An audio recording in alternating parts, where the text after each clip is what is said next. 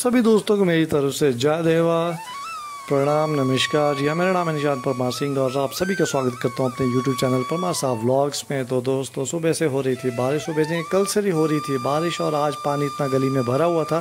जैसे कि यहाँ पे आप देख सकते हैं, शुक्र है मेरी वाली गली का पानी ड्रेन हो चुका है, मगर ये गली अभी भी नदी बन के नदी का रूप धारण किए हुए है और यहाँ पे अभी मैं रुका हूँ दुकान पे। सोचा शाम के खाने के लिए अभी दूध वगैरह, ब्रेड वगैरह ले लेते हैं। और ये देखिए पानी का किस तरह से बुरा हाल हो रखा है। तो रूम से निकलने का एक और कारण ये था कि मैंने देखना था अंडर ब्रिज की सिचुएशन। जी हाँ अंडर ब्रिज जहाँ से रोज़ होके, जिसके नीचे से होके हम जाते हैं ऑफ़िस तो सोचा क्यों ना वहाँ का भी एक चक्कर लगाया जाए और देखी जाए स्थिति वहाँ पे क्या है पानी की। तो इसलिए मन में थोड़ा सा उत्सुकता थी कि देखते हैं कि अगर नॉर्मल बारिश में ही वहाँ पे किस तरह से सिचुएशंस रहती हैं तो खासकर जो कल से भाई नॉन स्टॉप बारिश हो रही है तो आज वहाँ पे क्या स्थिति होगी? तो इसलिए अभी निकल पड़ा हूँ मैं अंडर ब्रिज देखने के लिए, जो है यहाँ से लगभग, मेरे रूम से लगभग एक डेढ़ किलोमीटर की वो दूरी पर है और ये देखिए सन्नाटा किस तरह से भाई बारिश बंद होते ही लोग जो हैं वो थोड़ा सा चहलकदमी के लिए बाज़ार में निकल चुके हैं। और यहाँ पे हम पहुँच चुके हैं अभी फवारा चौक के पास। फवारा चौक से हम टर्न लेके यू टर्न लेके हम निकलेंगे सीधा अंडर ब्रिज की तरफ़। और ये बाएँ तरफ़ है चिल्ड्रंस पार्क यहाँ पे भी आपको वापसी के समय देखेंगे यहाँ पे भी क्या सिचुएशन है।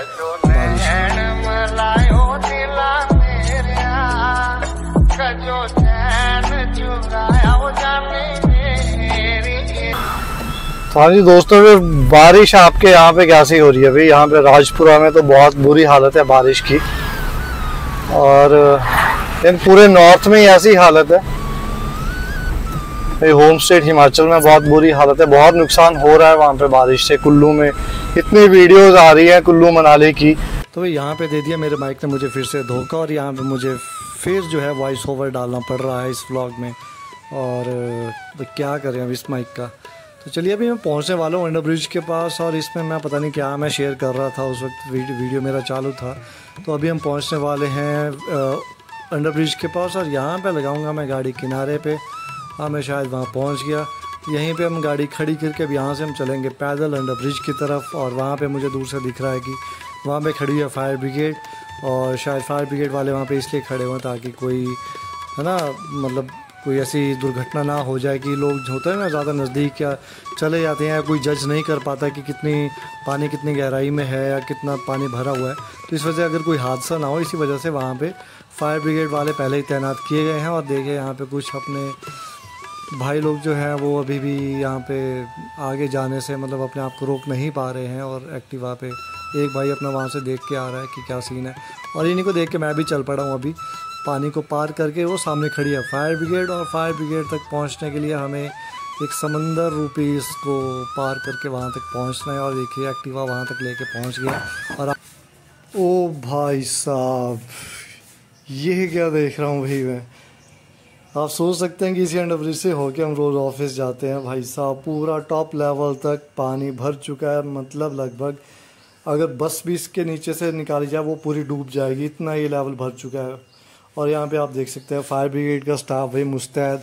यहाँ पे ऑन ड्यूटी ये लोग बैठे हुए हैं ताकि कोई ऐसे अप्रिय घटना ना घट जाए कि कोई आगे चला जाए या, है ना, वीडियो रील्स बनाने के चक्कर में लोग, बहुत से ऐसे होते हैं। कोई गाड़ी लेके किसी को जज ना हो, अंधेरे में और वो कहीं घुस जाए तो इसलिए ये यहाँ पे तैयार खड़े हुए हैं। तो भाई, कितना सरप्राइज़ फ़र्स्ट टाइम ऐसा देख रहा हूँ, क्योंकि हमेशा न्यूज़ में सुनते थे ना कि भाई फ्लाई अंडर ब्रिज में कोई गाड़ी फंसी।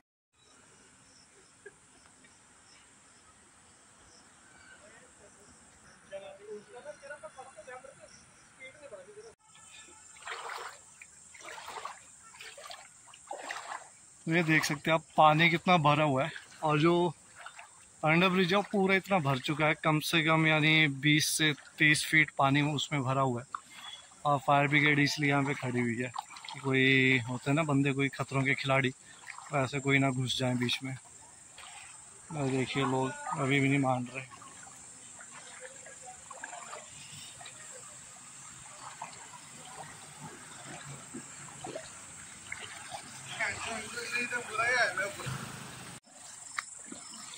ये राजपुरा का अंडर ब्रिज भाई। नया वाला अंडर ब्रिज जिसके ऊपर से ट्रेनें गुजरती हैं और रोज़ हम इसी अंडर ब्रिज से होके ऑफ़िस जाते हैं। और आज पूरा भर चुका है, लगभग 20 से 30 फीट पानी इसमें भरा हुआ और पूरा ऊपर टॉप लेवल तक। मतलब अगर बस भी इसके नीचे से अगर निकालने की कोशिश करें तो बस पूरी डूब जाएगी। और, बहुत सुना हुआ है कि ना, जैसे मैंने पहले बताया अंडा ब्रिज में गाड़ियाँ डूब जाती हैं, लोग डूब जाते हैं। तो एक इतनी आसान तरकीब आपको मैं बताऊँगा कि उस तरकीब को सुन के आप, अगर आप उसको फॉलो करते हैं तो आप कभी भी ऐसी सिचुएशन में अंडर ब्रिज में कभी भी नहीं आप डूबेंगे। और वो तरकीब ये है कि आपको बस अपना जो कॉमन सेंस है, जो दिमाग है, जो पढ़ाई आपको सारी उम्र आपने पढ़ी है, बस आपको उस पढ़ाई को ध्यान में रखते हुए ऐसी सिचुएशन में, ऐसे भरे हुए अंडर ब्रिज जो होते हैं वहाँ पे जाना ही नहीं है। ये अगर आप करते हैं तो आप अपनी ज़िंदगी में कभी भी ऐसे हादसे का शिकार नहीं होंगे। तो देखा कितना सही फॉर्मूला मैंने बताया सभी को। तो ये खड़ी है हमारी गाड़ी और आज मैं साथ में लेके आया था माइक पर। हुआ क्या? माइक की चार्जिंग हो गई ख़त्म और आधी ब्लॉगिंग मैंने म्यूट कंडीशन में ही कर दी क्योंकि माइक काम किया नहीं।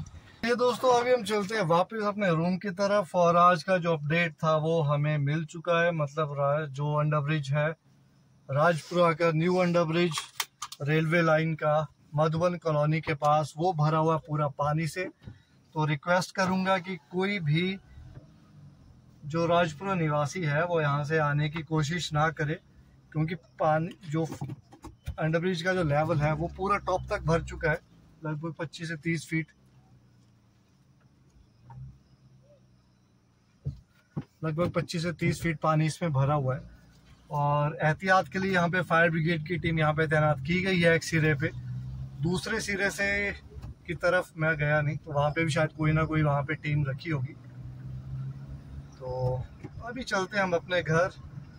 तो फ़र्स्ट टाइम मैंने भी देखा नहीं तो नोएडा, दिल्ली वगैरह या बड़ी बड़ी सिटीज़ की हम न्यूज़ सुनते थे कि अंडर ब्रिज में गाड़ी फंसी, बस फंसी, उसमें लोग लोगों की जान गई या, है ना, गाड़ियों को मुश्किल से निकाला गया।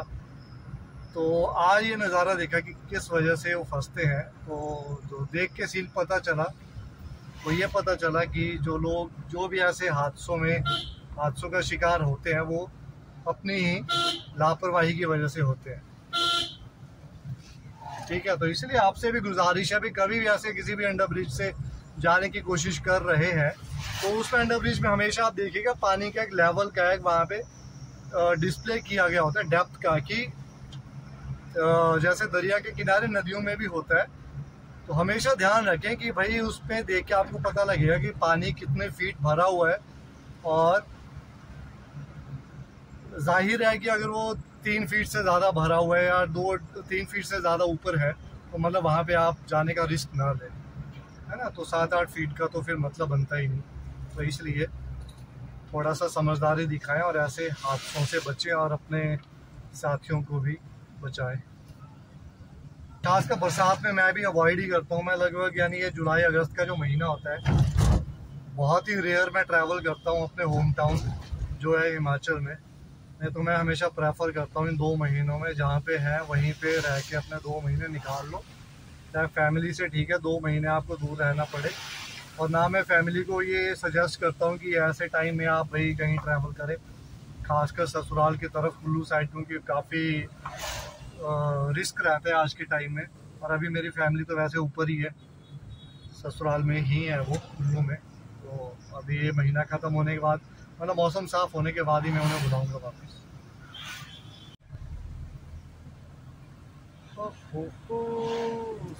सावन आया। बादल छाए। रिम झिम रिम झिम और भारी भरकम भाई साहब एक्टिवा की जान लेते हुए। सुना तो नहीं भाई ने भाई। और ये राजपुरा का चिल्ड्रन पार्क, जो मैंने एक बार बताया था, मैं आद्य को यहाँ पे लेके आता था, और इसकी आप कंडीशन देख सकते हैं। पूरा पानी से लबालब भरा हुआ। लबालब। शब्द यही यूज़ होता है ना, पानी से भरे हुए में। तो आप देख सकते हैं, पूरे झूले जो हैं बच्चों के, पूरे पानी में डूबे हुए, बहुत नुकसान बहुत नुकसान हुआ है इस बारिश में। बहुत ही ज़्यादा बारिश और सुनने में तो ये आ रहा है कि जो ओल्ड राजपुरा है, उस साइड तो ज़्यादा ही बुरी हालत है। और वो खड़ी हमारी रानी वहाँ पे।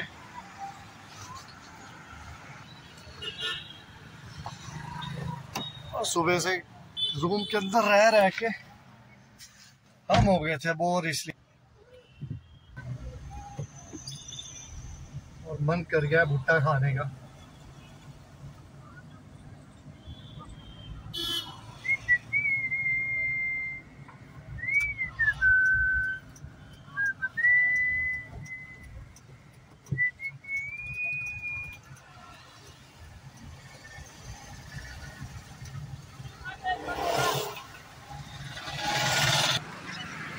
एक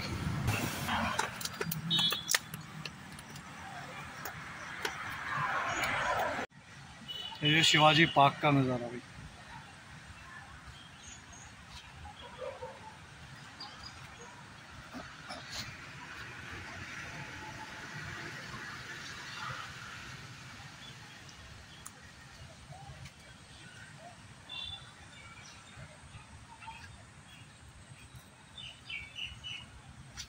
ओ भाई साहब। बच्चे देखो इतनी मस्ती कर रहे हैं।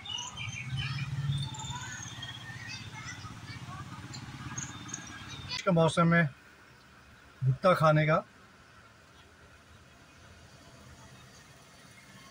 अपना ही मज़ा है। घर से बाहर रह के तो बहुत कम चांसेस मिलते हैं। पहले तो होता था बरसात में अपने खेतों से निकाल निकाल के शाम को चूल्हे में अपने आप भून के मैं खाई जाती थी और हमेशा हम ध्यान रखते थे कि भाई सबसे बड़ी वाली जो होगी साइज़ में, हमेशा वो संभालनी है।